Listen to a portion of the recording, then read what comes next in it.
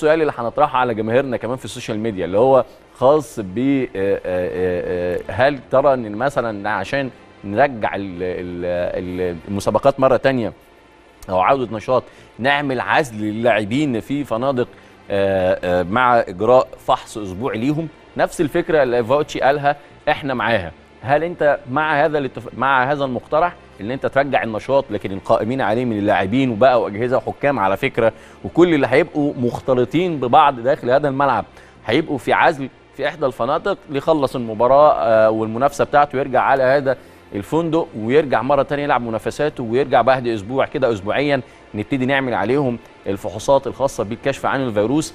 ده سؤالنا على ال social media خشوا آه، جاوبوا لي عايزين ترجعوا النشاط بهذه الشاكلة؟ يكون اللعيبة كلهم في حج آه، خاص بيهم والقائمين أيضا على المنظومة من حكام بقى من آه، من مراقبين مباريات من أجهزة فنية كل دول هيبقوا في نفس آه، الحجر الفندقي أو الحجر الخاص بيهم عشان نرجع النشاط. هي دي مش أعداد؟ أعداد. آه يعني هي أعداد وصحة آه، بني آدمين. آه. يعني هو اللاعب أو الحكم أو ايا كان ما هو امبارح مش إنسان متذكر اسم الدكتور زي البريطاني. اللي قال برضه بتاع العد وقال صعب قوي عودة النشاط في بريطانيا إنها لعبة تلامس. لو تذكري. الحلقة اللي فاتت قلنا ده, ده تصريح وده تصريح من بريطانيا وأمريكا. كلاهما فيهم شوية تضاد بس واحد فكر خارج الصندوق شوية والتاني قال لك الامن بالنسبة لي. طبعا فيها تلامس يبقى بلاش إن إحنا نرجع نشاط مرة تانية. مع إيه فيهم؟